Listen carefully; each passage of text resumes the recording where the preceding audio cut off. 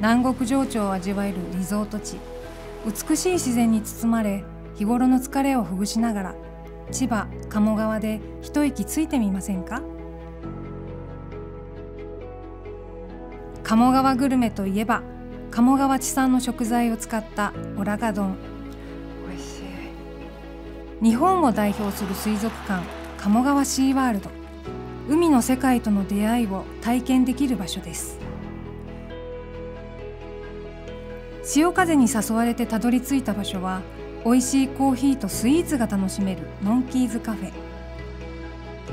少し気分を変えて訪れたのは新日本百景にも選ばれた仁右衛門島。鴨川旅行でお土産を買うなら里の無地みんなみの里。